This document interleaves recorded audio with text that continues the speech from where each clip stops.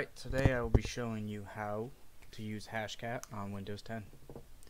So, first things first is we're going to want to install Hashcat. So, you can go over to Hashcat and go ahead and download it. After you download it, which I already have it installed, we're going to go ahead and open up Hashcat. which to run hashcat you just have to go to the directory. Okay.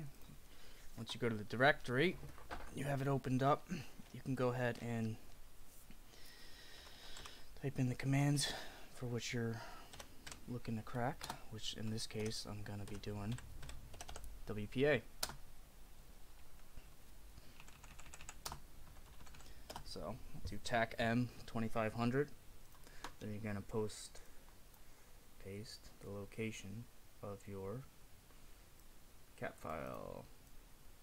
It's right here. After you post your cap file you can go ahead and just paste your password file. Then you hit enter and it's going to start initializing. Once it starts initializing you're good to go. And that's it. Just let it run another thing you could do if you want to monitor your graphics card is download CPU ID or a hardware monitor. There's a lot of different kinds. This one tends to work best for me if it responds. So then we can go ahead and monitor our GPU which is running pretty good.